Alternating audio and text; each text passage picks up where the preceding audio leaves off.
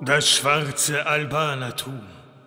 Es eilt eine Bedrohung vom Süden Tepelenas bis hoch im Westen und Osten.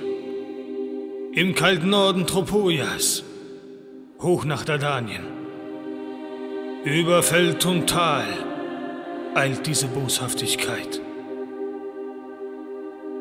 Nun, Männer, fresst und trinkt. Fresst und trinkt, denn es ist die Zeit der Hyänen, Zeit der Schakale, Zeit der Politiker. Fresst und trinkt, denn es ist reichlich Zeit, dass sie uns alle töten. Fresst und trinkt, es ist nach Jahrhunderten keine Veränderung in Sicht. Fresst und trinkt das Fleisch und Blut der Ersten, denn wir kennen es nicht anders. Aber vergesst nicht, das Land wird erhellen und ihr werdet unterlegen sein. Männer.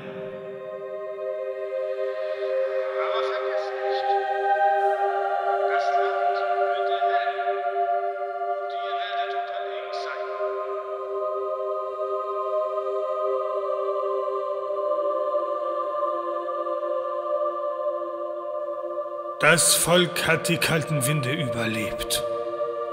Eisige Kälte und bedrohliche Nächte im Ungewissen durchlebt. Krieg und Zerstörung gesehen. Trauer und Angst. Unterdrückung über Unterdrückung. Aber mein Volk hat niemals die Freiheit erlebt, nie richtig die Freiheit gespürt und stets im Ungewissen hineingelebt. Mein Volk erleidet eine bipolare Störung seiner selbst. Eine Phase aus Illyrien und Elysium. Zwischen einem Feuer und einem Tartaros. Ein Trauma der Jahrhundertwende. Eine nie stillende Wut und eine einsame Richtung. Ich fühle Veränderung, aber ob sie gut ausfallen wird, weiß ich nicht. Es liegt im kalten Schnee, hinter den Bergen versteckt, in einer Gruft voller Fragen und Verwirrungen.